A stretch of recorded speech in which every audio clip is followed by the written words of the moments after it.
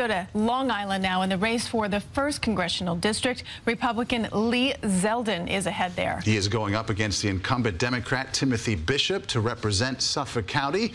And in Nassau County, CBS 2's Jennifer McLogan is following the fourth district race between Democrat Kathleen Rice and Republican Bruce Blakeman. Jennifer. Good evening. We were here 18 years ago when Carolyn McCarthy, a nurse, was swept into office on a gun control platform following the Long Island Railroad massacre that claimed the life of her husband. She is battling cancer and not seeking re-election. Well, guess what? This race is too close to call. Very stunning because as recently as last week, Kathleen Rice was favored by 10 points. She had a national campaign going, making headlines on prosecuting prosecuting drunken drivers for murders, in cracking the college admissions test cheating scandal. She appeared on 60 Minutes and forcing corporate security changes after the Walmart stampede.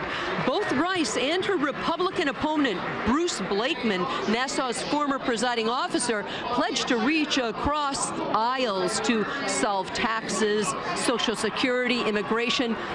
Blakeman really ran on a linchpin of security threats to over turn ISIS and even Ebola. And that seemed to resonate with voters.